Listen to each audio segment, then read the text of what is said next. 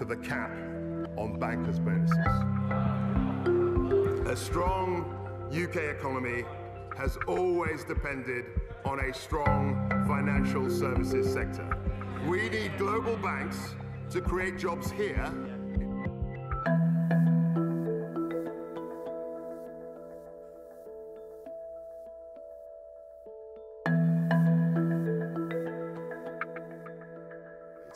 by Putin's illegal war in Ukraine. So everybody across the global financial community is really uh, focusing on the same problems. And you'll be Chancellor and Liz Truss will be Prime Minister this time next month? Absolutely 100%. I'm not going anywhere. Thank you very much, Chancellor. Thank you. Cheers.